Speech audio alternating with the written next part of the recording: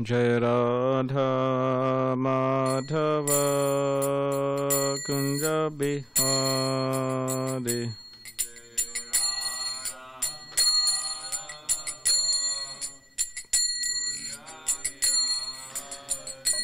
जय Radha Madhav Kunj Bihari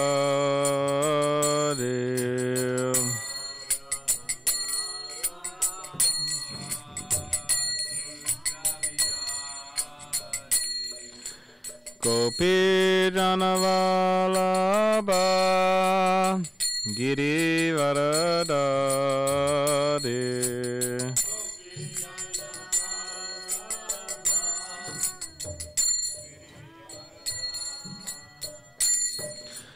Gopijanavallabha Girivaradade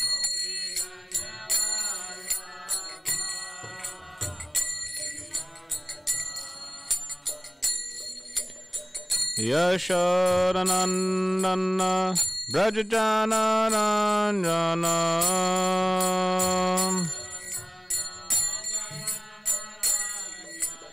Brajana Brajajananandana.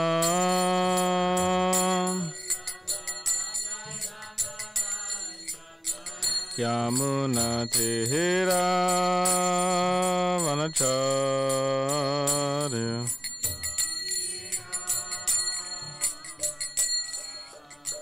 Yamuna Tera Vanacharya.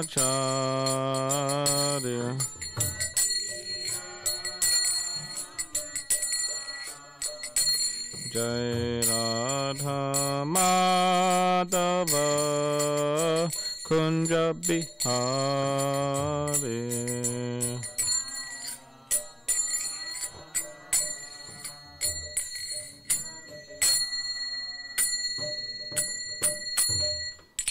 Jayam Vishnupad Paramahamsa Parivrajagacharya Ashtotra Shatashi Srimad is Divine Grace A.C. Bhaktivedanta Swami Srila Prabhupada Ki Jai Grantaraj Srimad Bhagavatam Ki Jai All glories to the assembled devotees All glories to the assembled devotees. All glories to the assembled devotees. All glories to Sri Guru and Sri Gauranga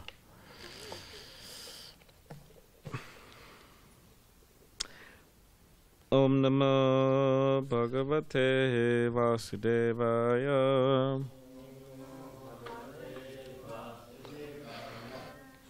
Om Namo Bhagavate Vasudevaya Om Namo Bhagavate Vasudevaya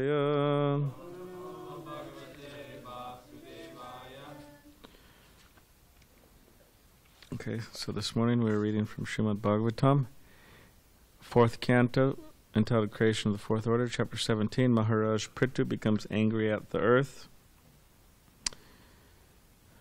Um, text 15. Tam anvadavat tadvanya kopitat yarun shanaha sharam dunushi sandaya yatra yatra palayate tam anvadavat tanvanya Kopito Yorunekshanaha Sharam Danushi Sandaya Yatra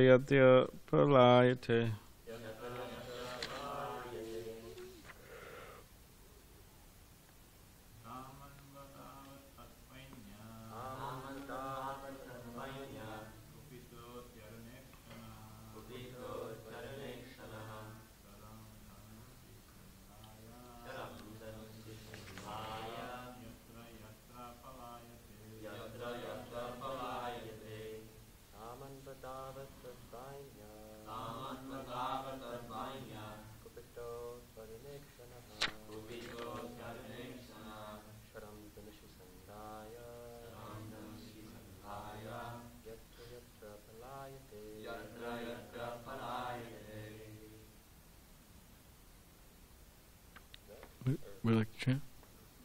No? All right.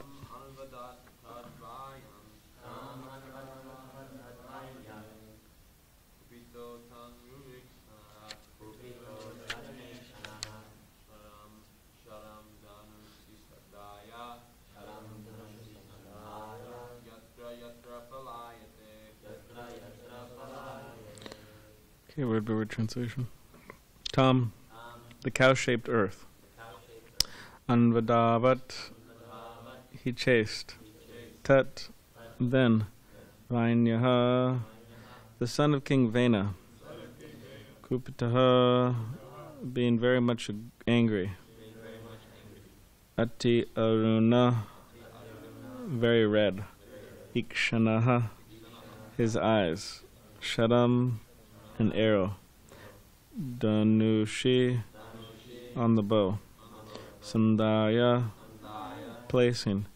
Yatra yatra, wherever. Palayate, she flees.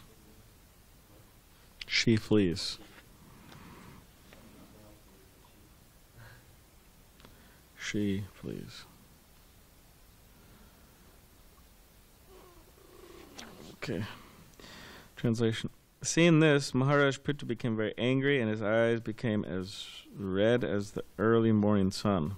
Placing an arrow on his bow, he chased the cow shaped earth wherever she would run. The cow shaped earth ran here and there in outer space between the heavenly planets and the earth, and wherever she ran, the king chased her with his bow and arrows. Just as a man cannot escape the cruel hands of death, the cow shaped earth cannot escape the hands of the son of Vena. At length the earth, fearful, her heart aggrieved, turned back in helplessness. Addressing the great opulent king, addressing the great opulent King Prithu as the knower of religious principles and shelter of the surrendered, she said, "Please save me. You are the protector of all living entities. Now you are situated as the king of this planet." Purport. Cow-shaped earth addressed King Prithu as Dharma Gya, which refers to one who knows the principles of religion. Principles of religion dictate that a woman, a cow, a child, a Brahmin, and an old man must be given all protection by the king or anyone else. Consequently, Mother Earth took the shape of a cow. She was also a woman. Thus she appealed to the king as one who knows the principles of religion. Religious principles also dictate that one is not to be killed if he is if he surrenders. She reminded King Prithu that not only was he an incarnation of God, but he was situated as the king of the earth as well. Therefore his duty was to excuse her.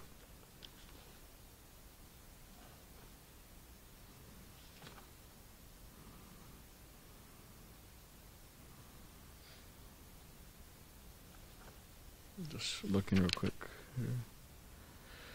Okay. ॐ अज्ञानतिवरन्दस्य गरञ्जनश्लाकाय चक्षुरुन्मिलितमेन तस्मै श्रीगुरवे नमः।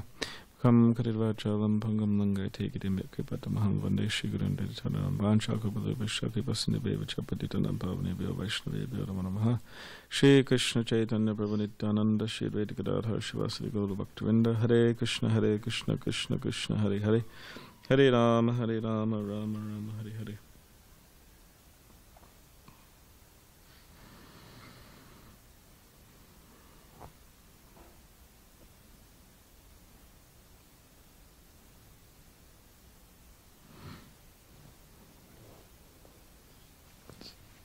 Rama Rama Hare Hare So so knower of uh, religious principles, the principles of religion.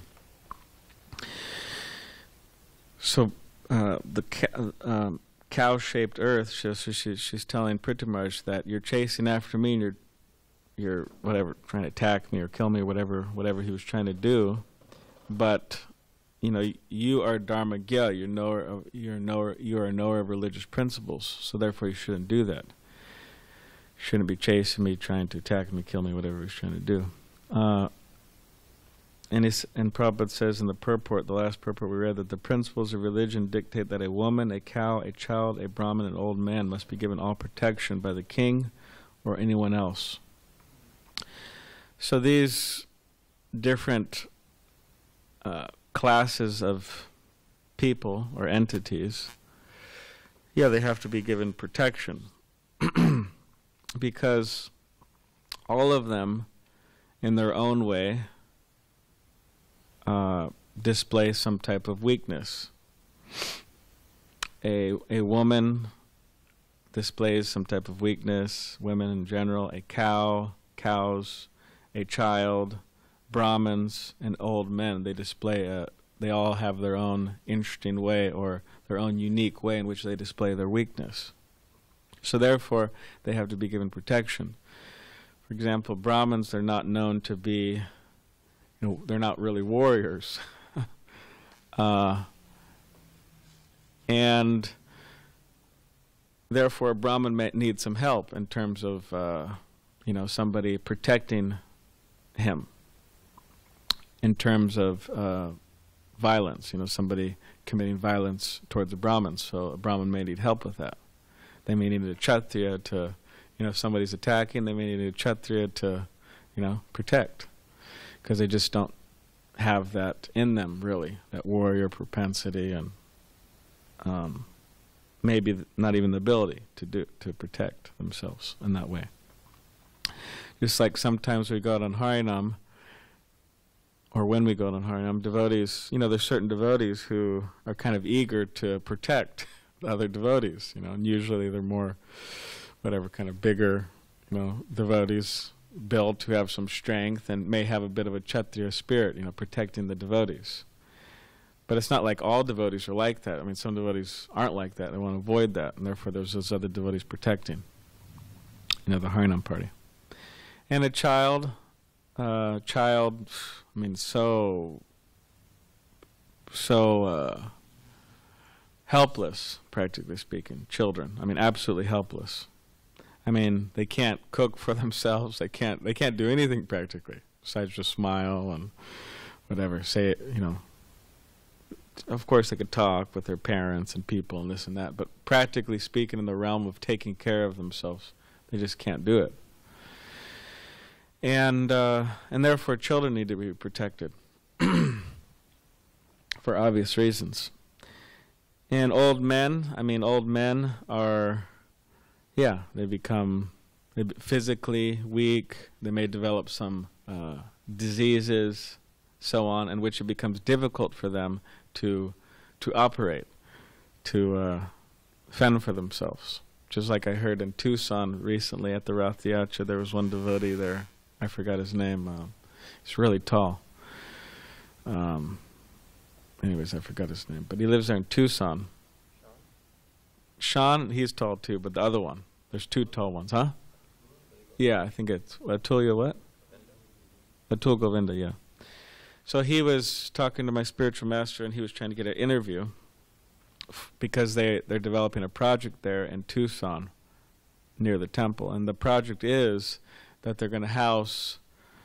Uh, senior devotees, I mean elderly devotees, senior devotees been around for a while, and who can't really take care of themselves so much. Not really like a hospice, you know, not that they're so close to to to death, but more like a senior living facility. So, house ten people. So, so yeah, that may be uh, that that that is clearly needed. You know, that is so many things are needed. So, so protect the el- elderly people, the Brahmins, the children, cows. Um, cows are also, I mean, helpless. Of course, there's a there's a you know a human. You know, a human comes and they could whatever kill a cow or you know kill so many cows. So quite helpless. They can't protect themselves. Um, so so many of these, uh, in their own way, these different uh, different entities need protection. Women, I mean, Prabhupada said in the Science of Self-Realization, he said he was criticizing the women's liberation movement, which was really big back in the 60s and 70s, and I mean, I don't exactly know how it's doing now. Women's is is there considered to be? Do they do they call do they call they don't call it the women's? Yeah, yeah. So Prabhupada said, What is this woman's liberation? he said you um, women's liberation means there's no man protecting them, and then any man comes, exploits them, means takes advantage of them, manipulates them. I love you, and you're you're you're the whatever. The guy's just lying, you know. He's completely full of it. Oh, I love you, and you're the. I'm trying to think of the other cheesy lines. Uh, yeah, you're the apple of my eye, and all this other stuff, and I'll do anything for you. And then he exploits her, manipulates her, and then there's some babies there. There's a baby there, or some babies there, and then the guy just leaves. And then Prabhupada says, what is this woman's liberation? And then the woman, she becomes, her freedom that she's so after, become, she becomes a, she becomes dependent on what? The government. Namely, welfare, right? Government, please, you know, please give me, uh, please help me out because the guy's gone. And sometimes, you know, guys, it's not that every single one of them, you know, pays child support. Sometimes they just take off. You know, they leave the state, they go here, they, they go there, and sometimes, you know, the debt just. It's not that every single one pays child support. So, so the woman needs some help. You know, practically speaking. I mean, it's hard to take care of a kid and make money and all that at the same time, most of the time. So, Prabhupada says, "What is this liberation?" And uh, yeah, and that's exactly what happens. I mean, some people may disagree with this, but that is exactly what happens. I mean, it's just it happens all the time. I mean, it's it's. Um, somebody was just telling me the other day. Anyways, I didn't necessarily want to hear this, but anyways, I hear so many things. Sometimes I don't necessarily want to hear, but but whatever. Some devotee. Uh, lady, she was telling me, a girl lady, she was telling me that whatever, some man, oh, I, I love you and this and that, and, and then yeah, the guy just like took off, you know. So, and I was just thinking about when after I heard that, I was thinking about that's exactly what Prabhupada said. He said that said that uh, he would say so many times, you know, but he said when when when women or girls are young, it's the father's taking care of them, and then you know they get married, and then the husband takes care of them, and then and then uh, when the husband leaves and takes sannyasa, and the elderly son takes care of them, sons. So this protection uh, needs to be there. Else there's manipulation, there's cheating, there's lying, and then uh, in the name of in the name of uh, whatever this name, that name, so many horrible things go on actually. Um, yeah, so and if, you know, people actually follow more of a traditional approach, then it's not that a woman's there and just you know, some man comes manipulates them and then another man comes and and then it goes on and on and on and on, uh, uh, like that like over and over and over again but if they were just you know protected and just you know married or whatever it is then they wouldn't be there why? Because the nature is, according to uh, Bhagavatam and other sources, and just you know common sense, is that these entities display their own weaknesses, as we're discussing. So now we're discussing women. So women also they display their own weakness, is. Um, and therefore, by nature's law, there's a man in the picture strong man to you know protect and right from the outside sources, and that's that's that's good. That's nature's law. So uh, I was just thinking in relation to all these women and cow and Brahmins and so oh, so on. Uh, Prabhupada was in Los Angeles. I actually heard it because I've heard devotees say it, but I actually never heard Prabhupada say it. But I actually heard it in a talk recently. I was listening to a talk Srila Prabhupada in Los Angeles. You're hungry? pass pass them out. We'll snap the beans. Uh, I was I was I was listening to a talk by Srila Prabhupada that he gave in Los Angeles recently, here in San Diego. Um, so Prabhupada was giving the talk, and then one man, he one one devotee, he, he, he you hear him. It's quite loud actually. He goes, something like shh, you know, you know, be be quiet, be quiet. It was actually quite loud. I was surprised. I was like, man, this, he didn't do it in a you know hushed manner. Um, and Prabhupada uh, interrupted the talk. Or Prabhupada began to speak about this man doing that. So this man was telling a a woman to to you know be quiet, you know, telling the baby to be quiet. The baby was making noises and that. So then Prabhupada said, "Oh, actually, according to our Vedic system, uh, children are not punishable." And then he said, "And according to our system, women are also not punishable." And then he said according to our system also, uh, Brahmins are not punishable. So he said, so I guess he, he says, well, it looks like our Krishna conscious movement is just comprised of a bunch of enti- a bunch of uh, people who are just not punishable, you know. So he said you shouldn't be doing that. You know, that was his point. Um, so this is what uh, Mother Earth is saying to Pritamaj that you're trying to punish me, but you shouldn't be. Uh, I'm not punishable. You know, I'm a woman. It's against the principles like that. So this is what's being indicated here.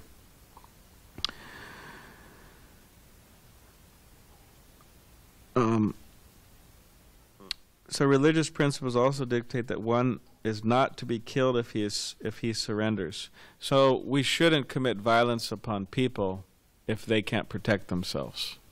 That's not good. Uh, so again, in their own way, women, children, cows, Brahmins, old men, in their own ways, and like we're discussing, they can't protect themselves in some ways. In some ways they can, but not in all ways. So therefore, uh, we should be very careful not to commit violence towards them, because it is against religious principles to commit violence to these different living beings. Uh, of course, you know, we're in America. You know, we weren't born in India besides him and him. There's two of us were born in India. So the cultural climate is quite different. How people deal with people, how people treat people is quite different. I mean, like in Australia, Bajranaran Swami says that there's two brahmacharis and they're fighting in the car you know, going on Sankirtan or something, and there were some American brahmacharis in the back. They saw these two Australians fighting, fighting, fighting, fighting, fighting, fighting. and then they just stop the car, and they get out and they actually start physically fighting each other, like wrestling or hitting whatever they're doing. I don't know. And then they get back in the car and everything's cool, and they just keep on going, you know. And yeah, and then the American brahmacharis are thinking, "What on earth is this? Like this is just weird, you know. That would never happen in America." I mean, sometimes we would fight friends and myself, but it, I don't know. It didn't. Anyways, I think it was of a different nature. um, so, so the, so how things are done in certain climate, certain cultural, uh, certain places in the world is quite different. And also, I mean, we're all coming from different backgrounds. I mean, how I was brought up, how you were, we're all completely brought up completely different. So it presents a bit of a challenge, actually because we not we may not be used to uh, the certain procedures, a certain kind of behavior that uh, that I am familiar with. You may not be familiar with at all. So it's it's it presents a bit of a challenge. So therefore, we have Vaishnava etiquette. There is Vaishnava etiquette for a very good reason. It means we're supposed to ditch our old social whatever. Um, what was it? Yeah, our our old social norms we're supposed to ditch, and how we deal with people, how we don't deal with people, how whatever. There's a whole Vaishnava etiquette, um, in which gives us a very clear understanding and is how we can operate in such a way, in a Krishna conscious way, um, adopting the Krishna conscious procedures to to deal with you know situations in life or else we're acting against religious principles and generally that means violence i mean somebody somebody uh, you know, somebody sees a bug or something, right? Like, you know, they just like stomp on it. It's like, oh my god, that's just I, that freaks me out. I mean, now maybe so many years ago it wouldn't have, but now just stomp on the bug. It's just so that's clearly violence, um, but also maybe dealing with somebody roughly, um, maybe being too critical of people, maybe not having enough tolerance and patience with people, uh, giving them some chances. You know, you let you give some people chances, or also unnecessarily harshly correcting them about certain things, which which may not really be our place. I mean, therefore, there's, you know, it is not that everybody respects everybody equally. That never is the case, and that is also not the case here. So, if somebody tries to correct somebody, um, you know, they they may not listen to that person. So what's the use? Like if I if if if Glenn doesn't respect me, for example, and I, and I, and if I try to correct Glenn, it's like what's the use? He's not going to listen to what I say anyways. Yeah, Glenn's humble, he would, but. so what I'm saying is that therefore there are systems, you know, like okay, hey, you got some problems on, then you know, go to somebody who can who has some influence over that person, because generally maybe that person will listen to you. that may be the case.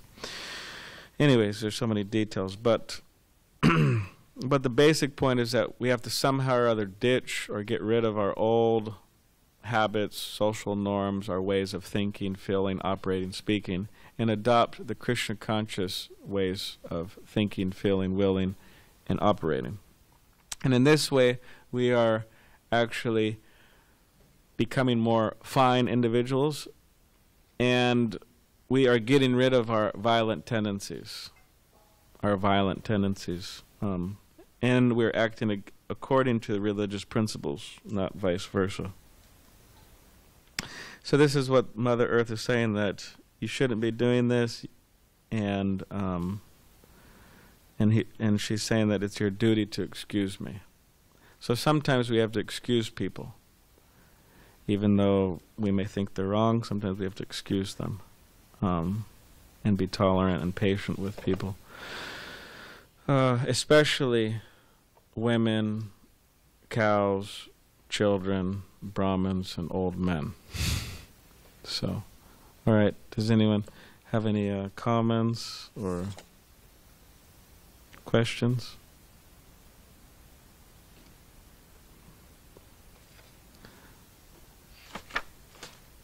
All right, I'm going to tell you, if you don't have anything just yet, I'm going to tell you this very interesting uh, information here. I thought was very interesting.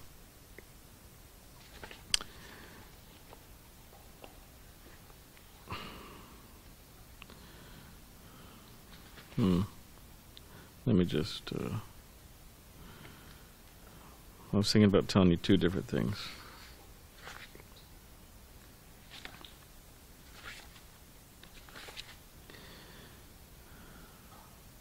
Anyways, uh, so one thing is that there's a, there's a really nice verse here. I mean, it's it's a little it's off the topic, but it's I thought it says that there's. Uh, I'll read it to you. It says. This is from the Radha Krishna Ganoddesha Deepika. It says Sunada, Yamuna, and Bahula are some of Sri Radharani's favorite cows. These cows give birth to calves every year.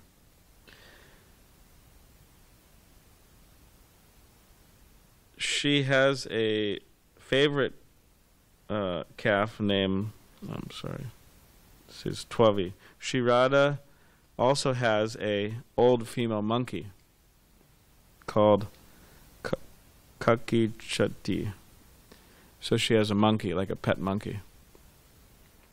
The name of her pet deer is Rangini, so she has a pet deer too. So she has a deer, she has a monkey, she has a favorite calves, cows, and she has a bird.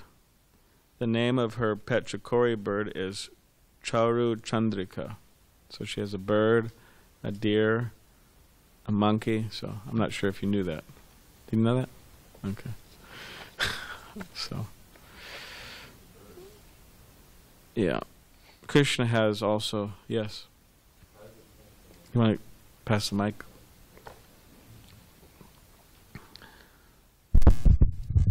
I was just just a quick thought. I was thinking about how um, the different things, different classes of people we were just mentioning, not only physically should be protected, but also, um, I guess you could say subtly or emotionally. Also, like um, women, children, brahmanas generally um, should also be protected from, like you could say, degraded things in society, or you know, being exposed to certain things in society which can degrade the mentality, which we see nowadays a lot of, you know, all these kids playing video games and killing and this and that, violence and all these things. And so then they grow up in a distorted way. Um, like made me made me think about that. Also, uh, obviously, brahmanas, you know, should be kept psychologically pure. Yeah. Children, women also should be kept psychologically pure. So that was an interesting thing. Yeah, that's a good point. Yeah, children. Yeah, children especially. I think because uh, they need education, they need training, um, and they need just to not be allowed to do certain things. I mean, if you let your child do whatever they want, um, then then of course no parent does that practically speaking because that's like you go to jail for something like that. But even but I, I, I would I would suspect that a lot of parents, maybe even devotee parents, allow their children to do things that they just shouldn't allow them to do. Um, because for whatever reason, I don't know, they want to make their child happy or this and that or but yeah, some things are just harmful, you know, to allow children to eat whatever they want or watch whatever they want or video games or this and that. I mean, how valuable is it? There's a great danger actually. Um, so yeah, the children have to be uh, protected and uh, trained and educated. And yeah, Brahmins, um, you know, because usually when we're talking about Brahmins, we're you know in our mind we're thinking of adults. uh, in many ways, Brahmins have a duty to protect themselves. Means that by their education, by their training, uh, they shouldn't fall into the same foolish mistakes as everybody else. Because by definition, Brahmins are supposed to be intelligent. means they're not easily bewildered. So, uh, therefore, Prabhupada said training, you know, from age five onwards, and then if by 25 or around there somebody wants to move on, move out of the ashram, and you know, do that, the grihastha thing, then okay, fine. But at least they had that training, and then Prabhupada said 25 years. 25 years grihastha life. He says it doesn't go on forever. And then vanaprastha. And then vanaprastha, 25 years, whatever, then, then sannyas. And he said for Brahmins, it's mandatory sannyas. Now, of course, some people, whatever, due to you know client, uh, social convention, this that, you know, time, place, and circumstances, they might not be. I know there's some devotees not taking sannyas for different reasons, but generally Prabhupada would, would, would speak like that. And important for us is that the, the, the training that we're getting now, that whatever happens in our lives, uh, whether we move here, move there, do this, do that, um, in our in our old elderly life, the whole point, the whole point of all of this really is that before we leave this body, we're supposed to become detached. We're supposed to become detached from sense gratification, from material enjoyment, from this whole material world, completely detached, men and women, and completely attached to Krishna. That's the whole point of all this training, all this education, all these classes, chanting Hare Krishna. Everything we're doing is just coming to that point. of course, you know, some people think, oh, that's morbid. You guys are just preparing for death your whole life, and this and that. But that's what. What can I say? That's what's stated. That that's the whole point to become. Like, what's the point of a brahmacharya life? The point of a brahmacharya life is so that when you, that if a person does, they don't have to, but if a person does become a grihastha, that they don't become a grihamedhi, means a materialistic householder sense enjoyer who can't control their senses and knows nothing but sense gratification and really doesn't have Krishna in the center of their lives. That's the whole point of brahmacharya. That's one of the aspects of brahmacharya training. Unless they continue to be a brahmacharya, that's another thing. So that's training.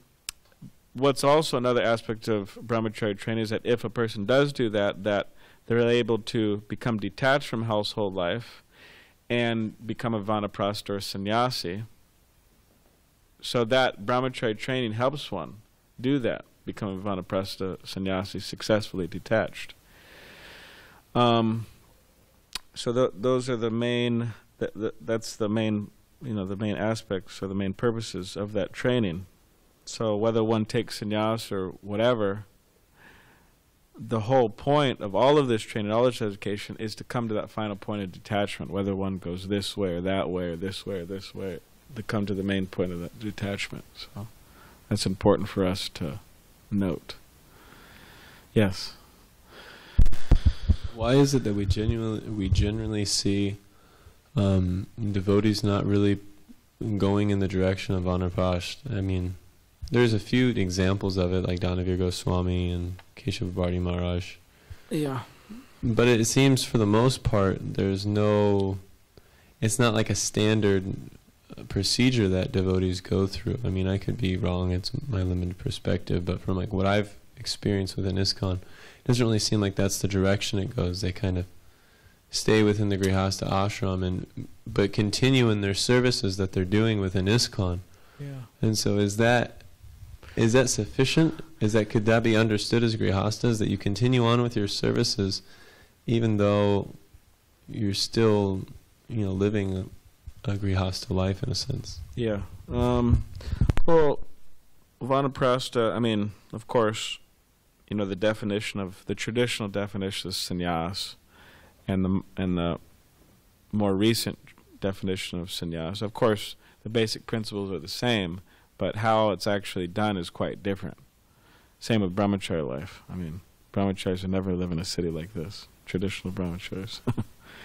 so how vanaprastha is done exactly may look quite different from. Actually, it is completely different from what's stated in the Bhagavatam. You know, vanaprastha is like they never cut their nails or their beard, and they wear bar, all this type of stuff. So, um, so in many ways, you could say vanaprastha. If, if if someone was simply to retire from making money, retire from collecting money,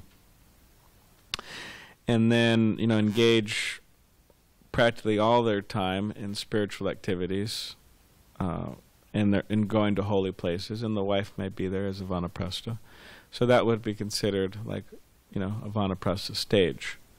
That you're not, you know, like a grihast, you know, like a young grihasta, you know, working for money, you know, but family, family, family, family, family. But there's there's more of an element of more direct Krishna consciousness going on, and less, you know, material activities. You could say material activities means less activities not directly dealing with Krishna consciousness. So devotees should do that. They shouldn't just keep on going, going, going, going, going, going, and then you know there has to be a severe, there has to be a very um, intense program to purify our consciousness.